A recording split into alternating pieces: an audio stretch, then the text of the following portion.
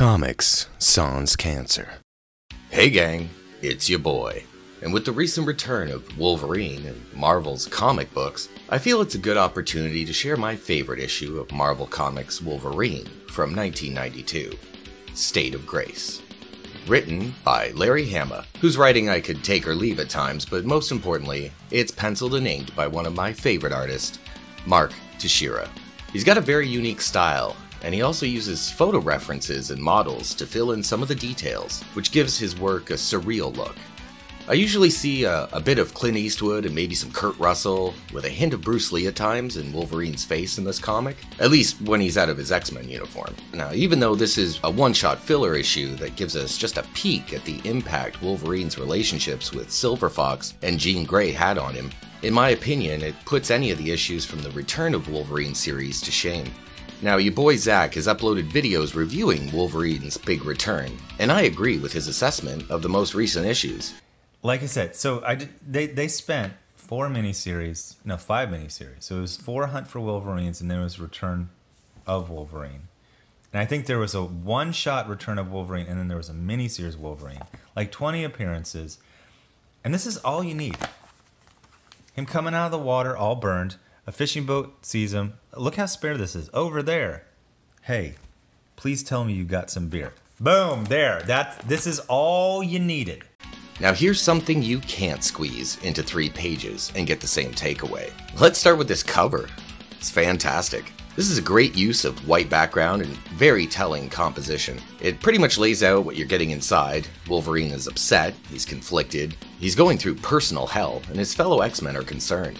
It also sets a great tone for the economy of quality and detail you get on the artwork inside. This attentive rendition of Wolverine in the foreground contrasts with his low-res counterparts in the back pretty well. Texeira's page detail seems to be about an 80-20 ratio. Keep your eyes open for the odd panel out on most of the pages inside. We start off with a nice full pager as Wolverine prepares for an unusual danger room exercise. Let's do it, Chuck. Crank me up to 10 and let the microchips fall where they may. Professor X voices his concerns regarding what Logan hopes to achieve from the experience. Then Jubilee chimes in with her throwback 50s teen speak here. Golly gee whiz, Professor Xavier. I sure am sorry that Wolvie isn't a superior human being who can work out his problems internally like you. Isn't it like a crying shame that he has to resort to kicking over garbage cans and punching brick walls like the rest of us cerebrally underdeveloped homo inferiors? Then Scott initiates the program. Apparently, Professor X has created a program to help Logan deal with the death of Silver Fox. Wolverine finds Sabretooth at the scene with his toxic masculinity on full display. Silver Fox, you're too late, Logan. Sabretooth, she was an uppity little squaw, Logan, and she said no. Jean shows concern, but Scott assures her that it's all Logan approved. He provided that snippet of dialogue himself, Jean. Wolverine and Sabretooth begin beating the snot out of each other. Professor X wonders why Logan wanted to feel the pain in the danger room. The others conclude it's like punching a brick wall. You know it's going to hurt, but you do it anyway. Some hero you are. You couldn't even save the woman you love. You're worthless. Jean is shocked, but Xavier explains the unprogrammed responses Sabretooth is giving are a feature of the program, not a flaw. In this part of the fight, we see Texeira start introducing the ink spatter to satisfy and circumvent the Comics Code Authority, and as we'll see, it gets cranked up later. Sabretooth backs Wolverine into a corner and starts feeding him his fists. And some truth bombs. You were gonna do it. They sent you out with a suitcase full of hardware to do a job of wet work on Terry Adams, and you went. No, they scrubbed the mission. They called me back. Some sweet artwork right there. Xavier shuts down the simulation, and Wolverine is left mumbling from the revelations. Wolverine goes to a seedy bar to play pool with some bikers. That probably won't end well. Heads up, buddy. It's your shot. You gonna take your shot, or you gonna keep staring off into dreamland? It's your last shot. You gotta call the pocket. And the barkeep sends one down the bar. Logan takes a drink and calls his shot. Unsurprisingly, the bikers get salty and welch on the bet. Pay up, bub.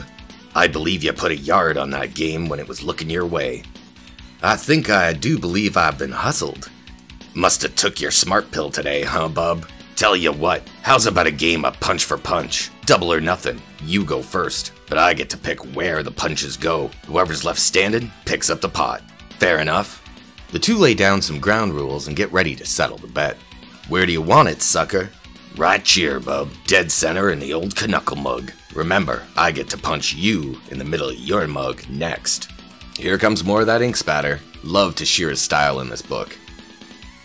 Wolverine takes a step back to arrange his face again. Excuse me, bub. I gotta wee wokade my jaw and push my eyeball back in place.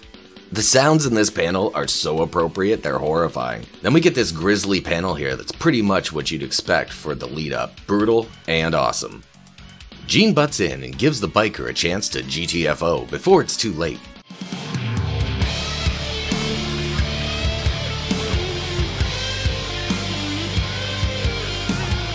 Yeah, yeah. Why don't you talk to the nice lady and let's you and me call the bet off? Better still, let's just say you won. Jean chides Logan that he must be in a fair amount of pain. Not really, Jean, darling. Not like the hurt inside. Jean begins her barstool psychology session, which we'll see leaves much to be desired. That's a sweet panel of Logan's effed up face. God damn. That's the problem, darling. I just don't know about my pain any longer. Stuff that I thought I had worked out comes right back, and the wound gets opened up again. Now I find out that a lot of hurt that I thought I had lived through was lies, implanted in my head just to mess with my memory. What's worse is finding out that most of the joy I was holding on to, like a life raft, was nothing but a fake, too. Jean says something playfully ignorant here, despite Logan pouring out his heart. Even though she wasn't flippantly rearranging her fellow X Men's sexuality yet, she was still kind of a bitch back then. After she minimizes his feelings one more time, comparing his loss to grief, he gets a little steamed in this eye catcher of a panel. Grief? You gotta be kidding, Jean. I've seen the death of every person I ever loved, including you. Wolverine starts talking about the women he's lost, but Jean seems a little put off by something. Oh, it's his eye. That's friggin' awesome. Only with Logan could you have a conversation that goes like that. He starts talking about burying Silver Fox, which is where this issue is ultimately headed when we get this panel.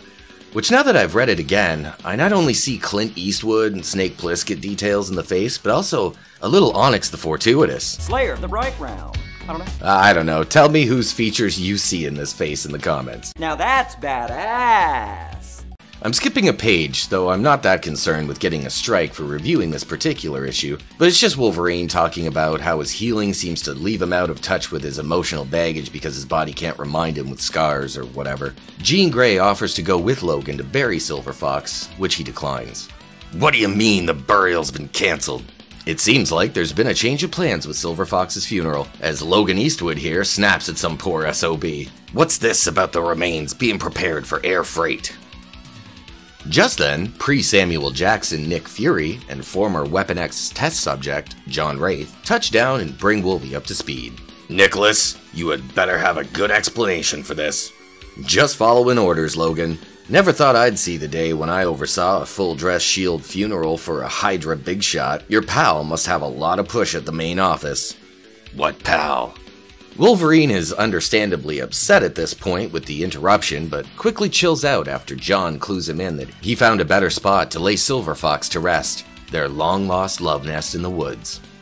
Next, we get this sweet sweetheart of Wolverine in his gear, blindfolded and escorting the casket of his beloved. Just so good.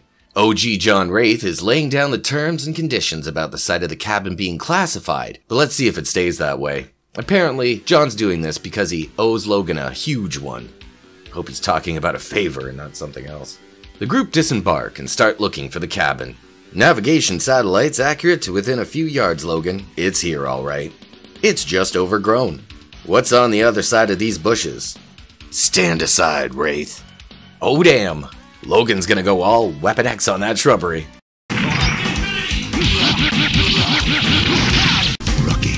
Wraith leaves Logan to it. Fury unloads the casket and gets told to take a hike by Wolverine. Leave her, lay her down, and clear out of here. I don't want her put in the ground by strangers. We can't just leave you out here in the middle of nowhere. How are you gonna get back? You think I get lost in the woods? Just leave me a shovel and get moving. It's real. Whew, them feels, man. And this is more stellar art, but that's an interesting choice for the colorist to make on that one eyelid. Hmm. Wolverine is awash in memories of Silver Fox and their time together while he prepares her final resting place. Maybe it's the scent of mountain laurel or the sound of the spade digging rocks. A piece of memory comes rolling over me like sunlight bursting through the clouds. And I really like this rendition in the sky through the flashbacks, where Logan seems to come to terms with putting Silver Fox to rest. Some pretty touching stuff here, guys. Clint Wolverine makes one final wardrobe change as he says his goodbye to his passed on sweetheart, promising to return each year. When the wildflowers are blooming and the wind's in the laurel. The end. Well, kids, what'd you think? This issue was one of my favorites in the series. You could probably tell by the scans that it's been well read over the years. Let me know down in the comments who you think Mark Texeira may have used for inspiration when rendering Old Knucklehead. Hope you enjoyed this Wolverine blast from the past, and I'll catch y'all in the next episode. But until then, check out some of my other stuff linked up above. I've been your boy, Richard Rizzo. Peace out.